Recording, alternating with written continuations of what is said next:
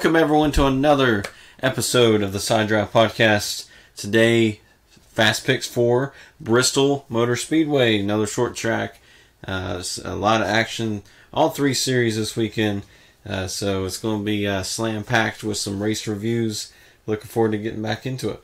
Yeah, and uh, with the trucks, they're going to be starting their playoffs, and uh, anything can happen. Short tempers and night racing, so it's going to be a lot of fun. Yeah, so uh, let's uh, recap how we did last week. Uh, so first off, the trucks at Michigan. You picked Ben Rhodes trying to win his way into the playoffs.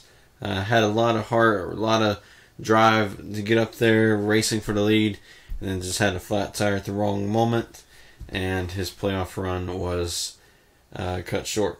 Yeah, he, he was really running really great and going for the lead, and I thought uh, he'd have a good chance of, you know, winning that uh, chance of getting the playoffs, but uh, I guess cut a tire and his chances were deflated. Then. Yeah, sort of. uh, my pick was Stewart Friesen. Uh, didn't really show a lot of speed all weekend, just kind of off. Uh, still top 10 most of the day, but just wasn't really a player at the end. Yeah, just uh, maintain. Then we go to the Xfinity Series uh, in Mid Ohio road course racing. A lot different than Michigan. Uh, you picked Austin Cindric, which uh, he was in his wheelhouse. Yeah, he was uh, coming off that win from Watkins Glen and uh, just back to back wins. And I picked Regan Smith, who, uh, you know, it was kind of there, kind of wasn't. Uh, just, uh, you know, it's been a couple months since we've last seen Regan Smith in the car, so, uh, you know, maybe took a little bit until he really got the feel for it, but uh, I believe he led some laps. Uh, just wasn't necessarily uh, as fast as Austin Cindric, which uh, no one really was. Nobody was. Uh, he was in his own time zone, and yeah, uh, I mean Christopher Bell was kind of there, uh, just uh, wasn't enough for Austin Cindric.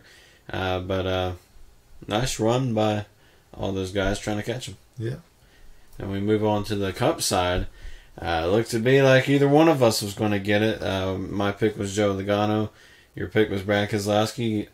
Joe Logano was leading uh, in the last 20 laps, and then Harvick comes out of nowhere, passes them all, and somehow he had enough fuel, and we didn't. And uh, yeah. They to make these races a little shorter, and we probably have a chance.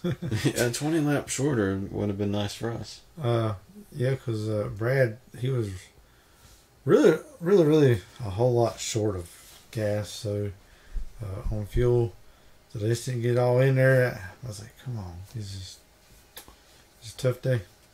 Yeah, I believe Logano pitted with like three or four to go somewhere around in there. Uh, just wasn't quite as fast as Harvick towards the end.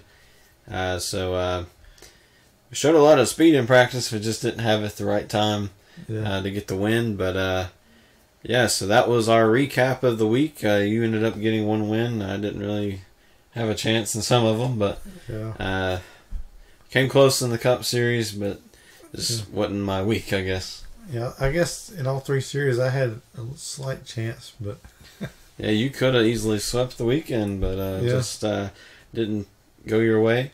Uh, but now it's a whole new week, whole new slate, and it is time to make our picks. Uh, first up, the Truck Series. Uh, so the night racing and truck series at a short track. That is a perfect match right there. It's going to be exciting. Uh, people trying to go into the next round. Uh, would be cool to see if this race was the uh, last one before the playoffs. Uh, so maybe uh, some aggression there trying to get into the playoffs. But now we're going to have people uh, trying to go from eighth to first in the points. yeah, trying to lock their way into the, the next round of playoffs. And um, yeah, I believe uh, I'm gonna pick go with Tyler Ankrum. Uh, he's really showing some speed and uh, rookie. I mean, yeah, I believe this kid can do it. Yeah, I mean, imagine that like a rookie coming into the playoffs first time and and then going maybe winning the championship. That'd be crazy. Yeah, he's gonna be my one of my picks to maybe win the championship.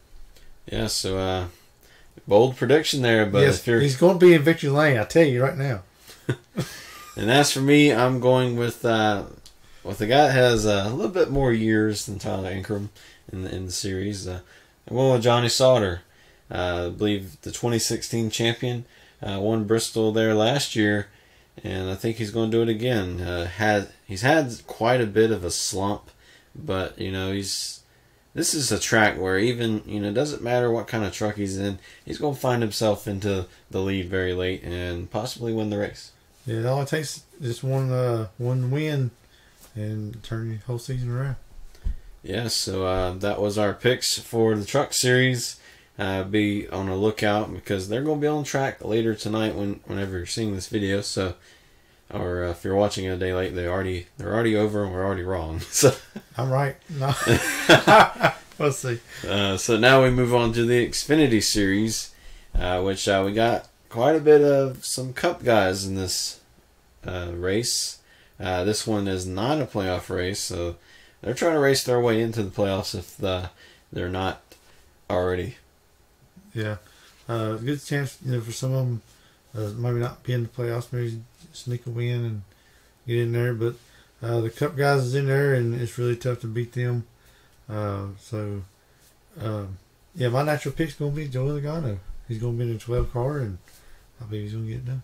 Yeah, and if, if Joe Logano does win, that would be the third straight win for Penske. Uh, they won Yeah.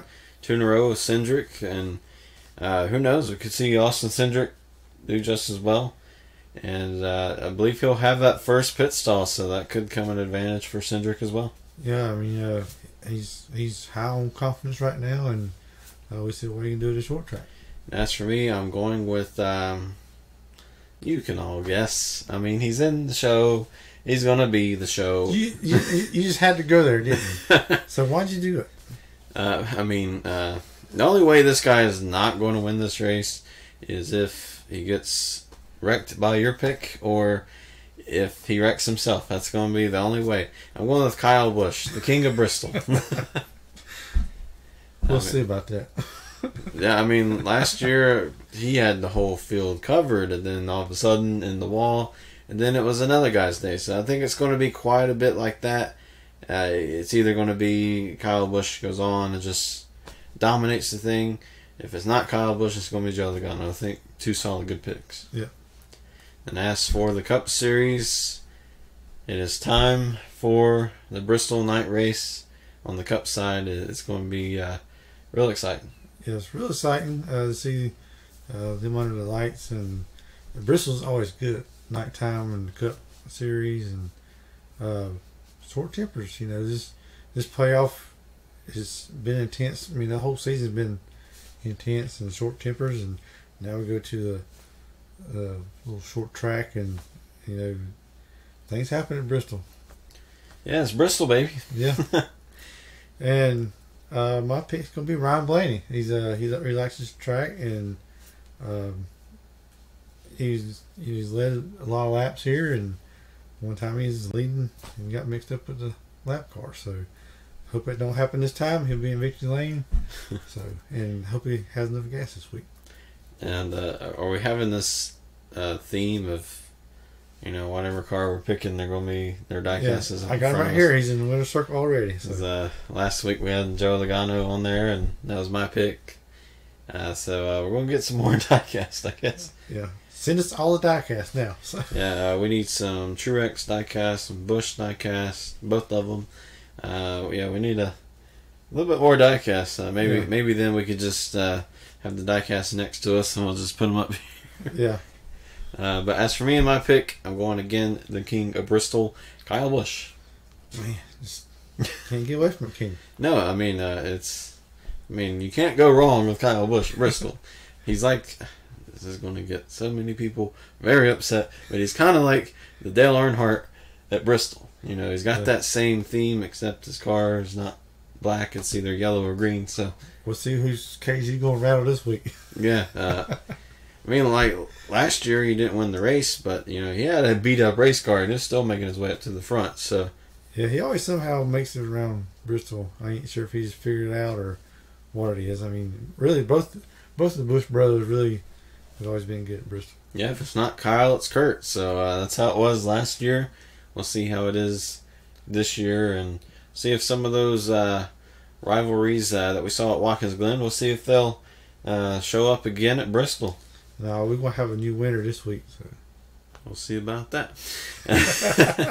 All right, so I hope you enjoyed this episode. Subscribe for more. Stay tuned for our race reviews throughout the week, and we'll see you then.